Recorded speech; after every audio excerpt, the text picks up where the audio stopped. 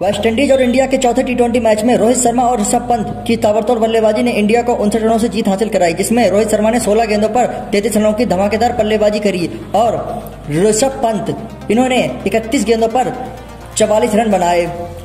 India के बॉलरों का भी बहुत अच्छा प्रदर्शन रहा, जिसमें आवेश खान ने चार ओवरों में दो विकेट चटकाए। वीडियो में आगे बढ़ने से पहले आप लोग मेरे चैनल को सब्सक्राइब ज़रूर कर लें। चलिए बढ़ते हैं आगे। आज का मैच पांचवा टी ट्वेंटी मैच है, जो आज शाम को आठ बजे खेला जाएगा। आज कौन सा खिलाड़ी सबसे ज़्यादा रन बनाएगा? और कौन सा बॉलर सबसे ज़्यादा विकेट चटकाएगा? और कौन सी टीम जीतेगी?